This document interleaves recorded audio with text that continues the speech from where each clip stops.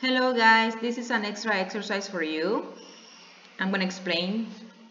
It says parts of the house and furniture. Furniture, muebles, objetos, cosas. And here you have a picture of a house, right? With some numbers. Number 1, number 2, number 3, number 4, number 5, 6, 7, 8, and 9. And here you have a pink rectangle, right? And the instruction says, dice la instrucción, identify, identifica, identify the parts of the house, use the words below.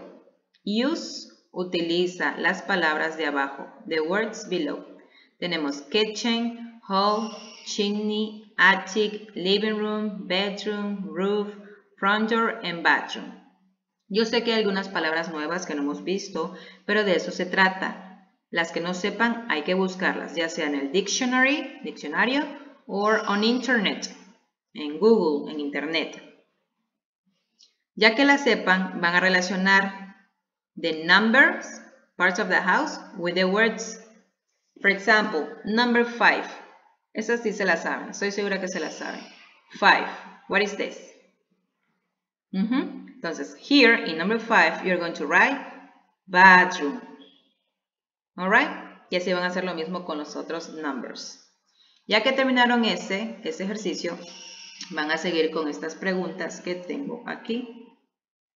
1, 2, 3, 4, 5, 6 questions.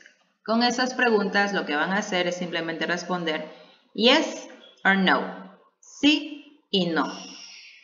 Instructions. Answer about yourself.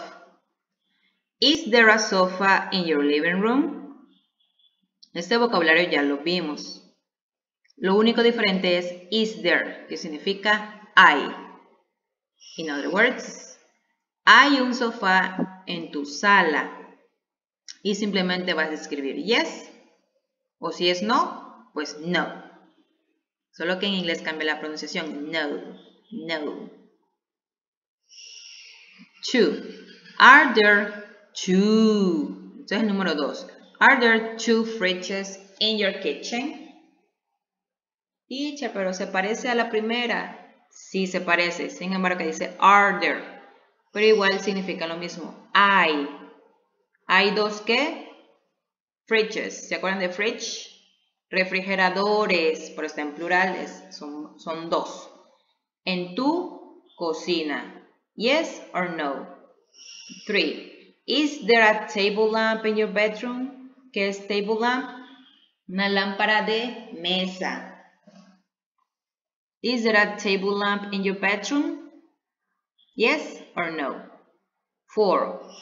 Are there any pictures in your house? What is pictures? Imágenes o pinturas o fotos. Are there any pictures in your house? Yes or no. Acuérdense que is there, are there, is there, are there, is there, are there significan hay, que si hay, que si existen, del verbo haber. Um, number five, is there an attic in your house? Six, are there mirrors in your house? Okay. Las preguntas no tienen que escribirlas. De hecho, esta hojita la pueden imprimir toda completa, la recortan bien bonito y la van pegando a manera de que entre bien en su cuaderno. Y ya hacen el ejercicio. Solo tienen que escribir aquí las palabras, el vocabulario y acá yes, no, yes, no. ¿Quedó claro?